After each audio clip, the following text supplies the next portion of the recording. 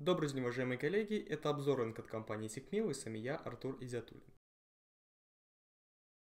В общем, на этой неделе я изучал а, структуру резервов китайского ЦБ и наткнулся на вот такой а, интересный график. Это а, график золота и обменный курс юаня к доллару.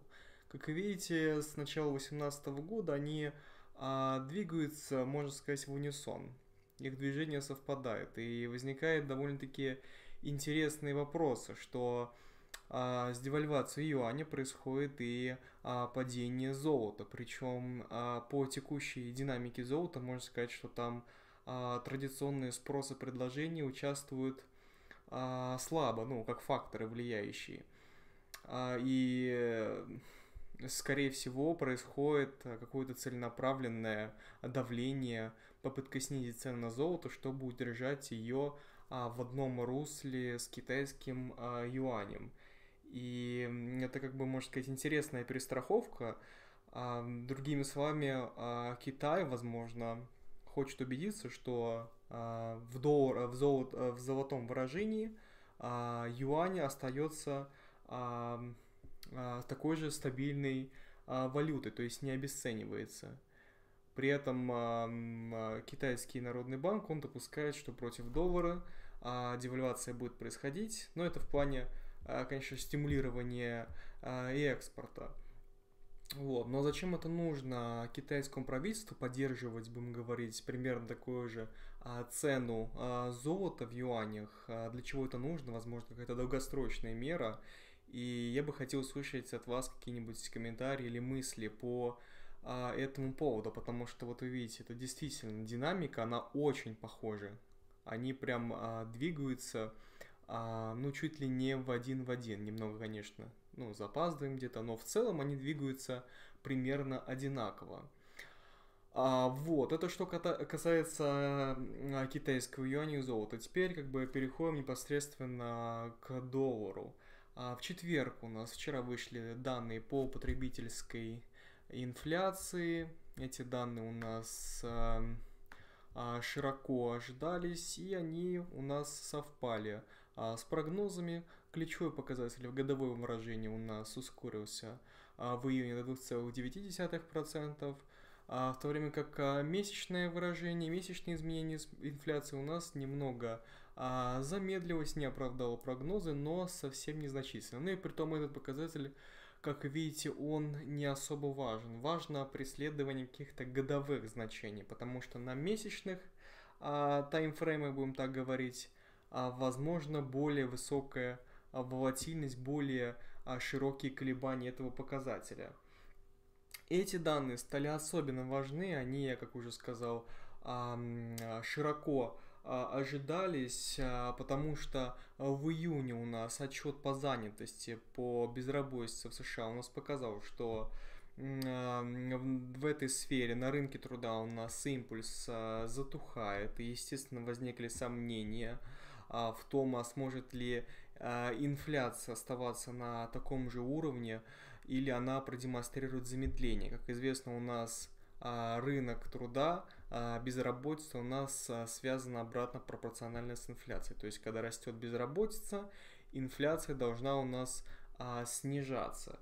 Вот. Учитывая также, что главным драйвером американского ВП является потребление, а ритейлеры могли у нас а, перестраховаться, поднимая цены заранее, чтобы как-то компенсировать будущие издержки из-за удорожания импорта. Тогда по инфляции мы бы видели с вами увеличение данного показателя, то есть реакцию ритейлеров на а, будущие торговые а, барьеры. Вот, и, например, а, спрос, если брать спрос ритейлеров на пополнение товарно-материальных запасов, то есть попытка перестраховаться, закупить товары до введения тарифов, чтобы как-то удержать э, в будущем цены на них, то это бы отображалось на импортных ценах. А в импортных ценах, как мы видим, у нас движение идет вверх, но оно примерно же а, происходит такими же темпами. Нет каких-то либо резких а, скачков. Но сегодня у нас как раз таки ожидаются данные по импортным ценам за июнь, и будет интересно посмотреть, а что происходит с ценами, если можно, ну, если можно предположить, что ритейлер у нас примутся забивать а, полки, а, пополнять товарно-материальные запасы как раз таки перед а, введением тарифов возможных на 200 миллиардов долларов, которые у нас произойдут в конце августа. А доллар у нас в спешке скупают в пятницу, это видно в принципе из динамики основных валют, он сегодня у нас вырос на достаточно э, большое значение, амплитуда его роста, она довольно-таки э, нестандартная, 0,35%. Американские индексы у нас закрылись вчера.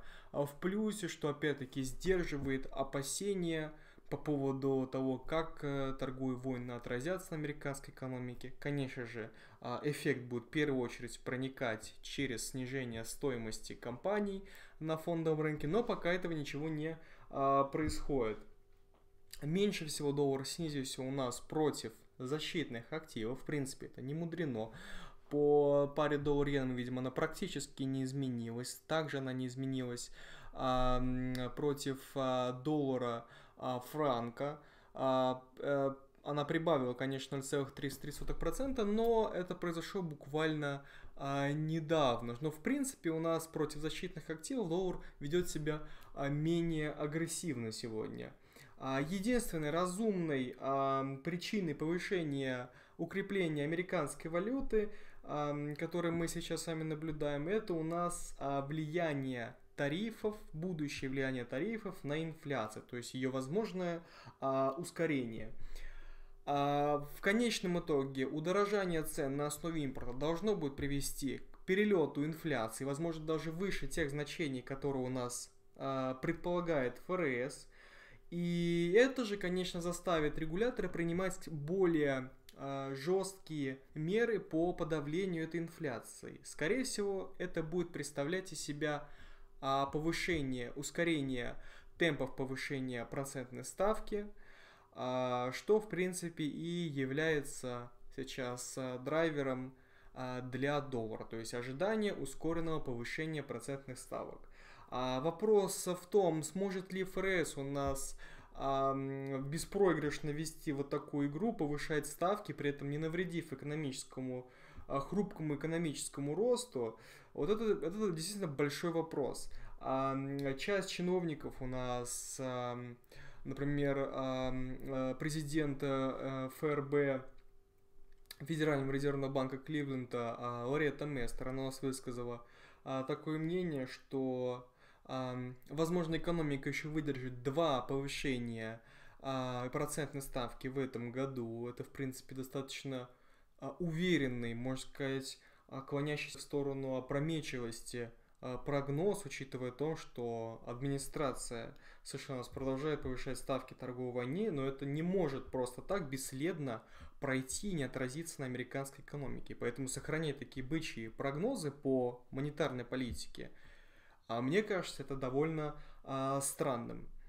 А, тем не менее, пока не будет наблюдаться устойчивого а, ослабления на рынке труда, пока мы не увидим а, слабости в занятости, устойчивого снижения а, по оплате труда, то есть слабых значений, или увеличения безработицы, то говорить о том, что ФРС у нас нажмет на педаль тормоза, нельзя, так как регулятор у нас ориентируется на данные, и рынок труда, данные по нему, это прямой показатель устойчивости национальных доходов, их а, темпов расширения и, конечно же, перспектив потребления. Поэтому весь фокус сейчас должен оставаться на рынке труда, то есть на а, потребительской силе, да, возможности а, потреблять а, среди потребителей в экономике.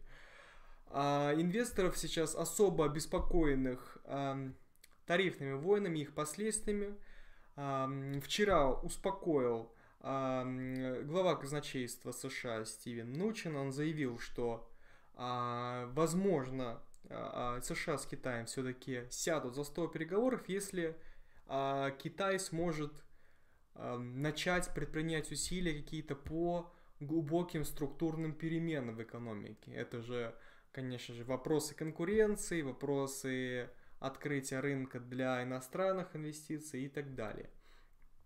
Некоторые инвесторы у нас восприняли а, такие комментарии, как желание Китая все-таки сесть за стол переговоров, и просто Мнучин у нас заявил вот такой в мягкой форме, намекнул об этом, так как сейчас э, китайское правительство у нас сталкивается все-таки с потерей управления в экономике из-за растущих дефолтов а, на корпоративном рынке бандов и крушения фондового рынка.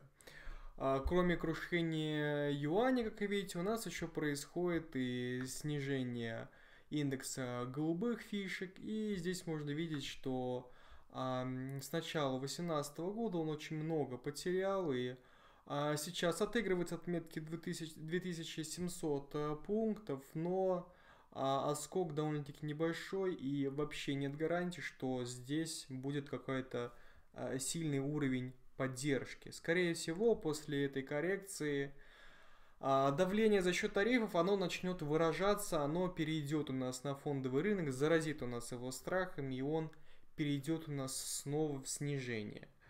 А, вот. А, также стоит отметить, напомнить, что в Китае у нас распространена практика использования в качестве обеспечения акций компаний для а, взятия кредита, для долгового финансирования. Это опять же увеличивает кредитные риски, так как по сути у нас вот эти долги становятся в зависимости от фондового рынка.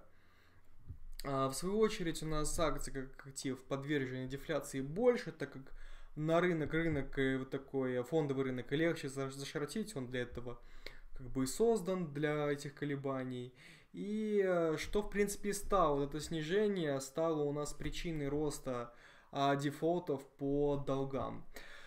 Трампа, возможно, еще разозлит а, новость о том, что в пятницу у нас сегодня вышли данные по а, торговому балансу Китая, которые показали, что в июне у нас значительно увеличился, особенно США, то есть у нас компании, экспортеры в Китае продолжают усиленно наращивать объемы экспорта перед введением тарифов, это их нормальная, рациональная реакция на возможные тарифы, и поэтому у нас экспорт растет, а, загруженность портов США, принимающих контейнеры с Китая у нас повышается.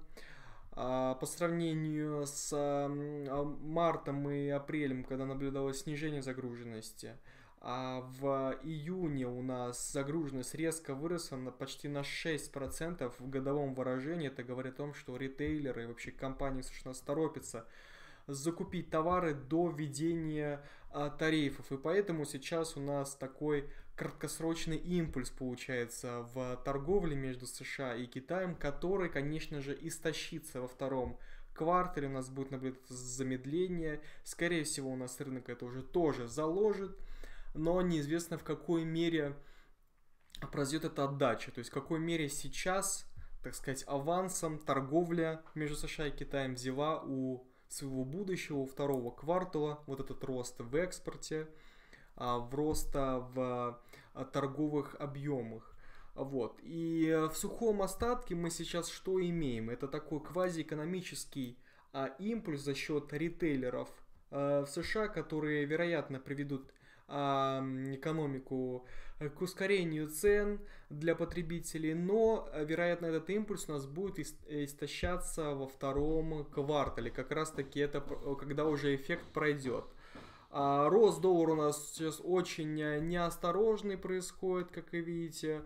Он у нас растет очень быстрыми, стремительными темпами, но все равно потенциал роста также должен в скором времени истощиться, и а, прогноз у нас остается по доллару все равно а, в среднесрочной перспективе медвежий, и нужно искать а, точки для входа. Скорее всего, это станет уровень а, 96 по доллару, а, возможно, немного выше, 97. Но, в принципе, стоит ожидать коррекции вниз, и этот рост, он все равно должен быть а, непродолжителен до первых появлений слабости на макроэкономическом а, фронте.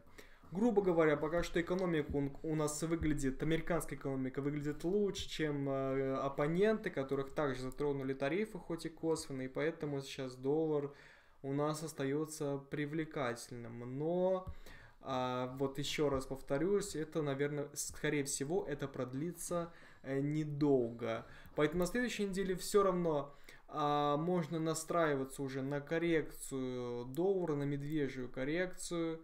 И, скорее всего, следующей неделе доллар у нас начнет со снижения против основных валют. А на сегодня у нас все. Спасибо за ваше внимание.